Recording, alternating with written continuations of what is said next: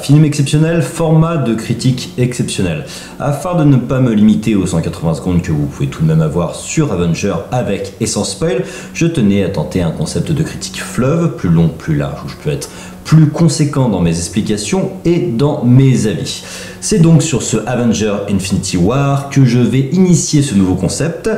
Réalisé par Joe et Anthony Russo et sorti le 25 avril 2018, en quête des pierres de l'infinité, Thanos se retrouve confronté aux Avengers, bien décidé à stopper son plan de génocide universel.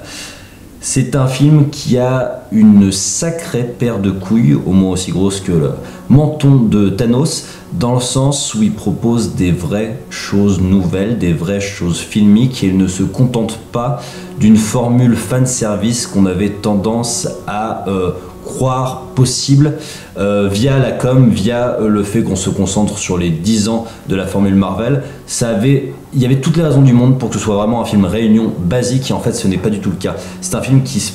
parle d'une histoire, d'un vrai scénario, et c'est presque plus un film Thanos que ce n'est un film Avenger. Thanos est vraiment le personnage principal, et du coup nous offre le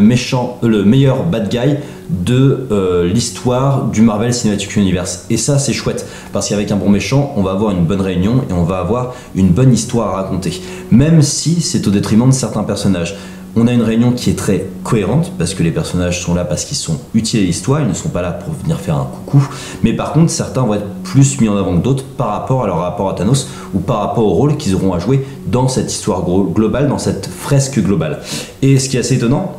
c'est que globalement on nous met plus en avant des seconds couteaux, euh, comme Scarlet Witch, comme euh, Vision,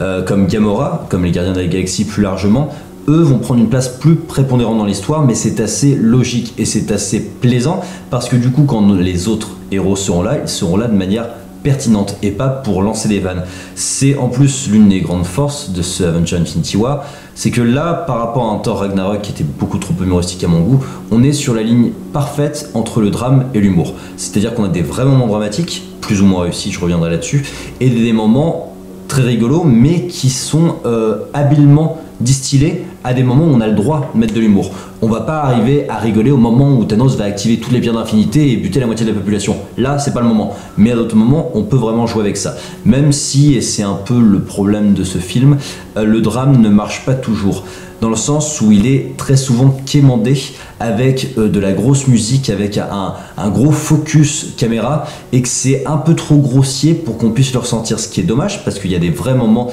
qui, à l'écriture, sont jolis, sur euh, le suicide de Gamora, enfin le meurtre de Gamora, sur cette fin globale avec la moitié de la population qui disparaît, sur le tout début avec la mort de Loki, de Heimdall, mais par exemple sur ces moments-là, on ne ressent pas le drame parce qu'il est un peu grossier à d'autres moments, on le ressent bien plus. Euh, c'est le cas sur la mort de Peter Parker, que je trouve vraiment très très bien joué globalement euh, sur cette finalité de toute façon des personnages qui disparaissent petit à petit. Je trouve que ça se ressent vachement, vachement mieux que sur le début du film par exemple. Et euh, l'un de ceux qui défend le mieux le drame, je trouve qu'en plus c'est Thanos. Thanos est super euh, cohérent dans cette imagerie du complexe du génie qui s'est rendu compte du problème du surpeuplement, du surpeuplement universel et qui a pris euh, une démarche complètement pété, complètement folle de vouloir tuer la moitié de la population, mais pour la recherche d'un certain bien parce qu'il a mal vécu euh, le génocide de sa propre planète. Donc tout ça forme un, ensemble très cohérent qui en plus porté par une forme euh, très réussie, dans le sens où c'est globalement très bien réalisé. Euh, on a des moments plus ou moins lisibles en termes de scènes d'action, mais globalement c'est très beau, c'est très bien pensé en termes de chorégraphie de combat. Je trouve que Doctor Strange nous offre des moments épiques d'utilisation de la magie et que tous ces univers, toutes ces pattes graphiques, toutes ces chartes graphiques se rendent avec d'autant plus de cohérence qu'elles sont toutes propres à leur univers. C'est-à-dire que, euh, que ce soit en termes de dialogue ou en termes de combat, on reste, malgré euh, la, jonction de différentes licences, sur quelque chose de très commun avec la particularité de tous il n'y a aucun doublon de personnage. Là où on pourrait craindre qu'un Doctor Strange prenne un parti pris très semblable à Anthony Stark, c'est pas du tout le cas. Le personnage est beaucoup plus absolu dans sa notion des règles de la magie, là où Anthony Stark a euh, une autre ligne narrative à défendre.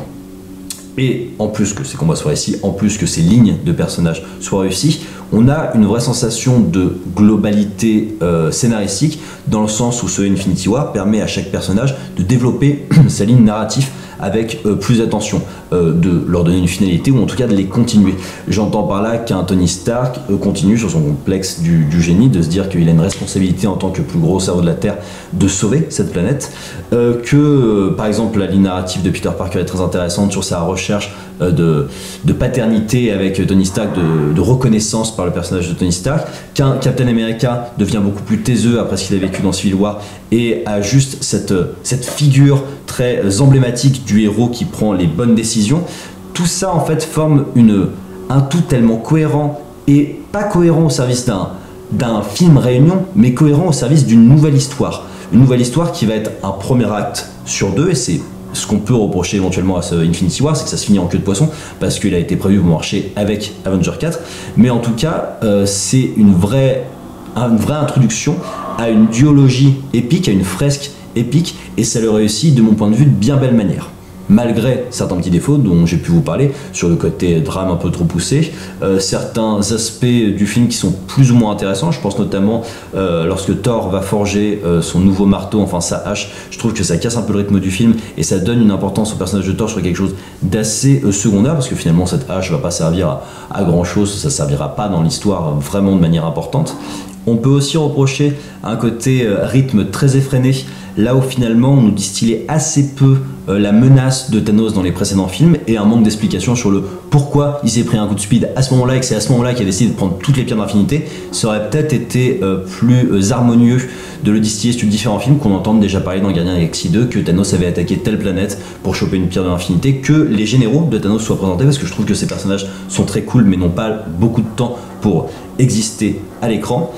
et je regrette aussi une certaine facilité euh, cinématographique, scénaristique sur le personnage de Peter Quill, euh, sur cette scène où ils sont face à Thanos, et qu'on utilise le, bon coup du il va te mettre en colère pour que tu t'énerves et pour que tu le libères. Et ça, c'est vraiment un aspect très euh, basique du cinéma qui était pourtant évité dans tout le reste du film et qui était pourtant bienvenu, c'était pourtant bienvenu d'éviter ce genre de grossièreté de mise en scène. Voilà, j'espère que ce Avenger Infinity War vous a autant plu qu'à moi. N'hésitez pas à m'en parler en commentaire, à échanger avec moi. N'hésitez pas à me dire ce que vous pensez de ce concept de critique fleuve où je laisse plus le temps euh, à l'improvisation et plus le temps à mon euh, ressenti de se développer sur 6-7 minutes, je sais pas exactement combien j'ai fait.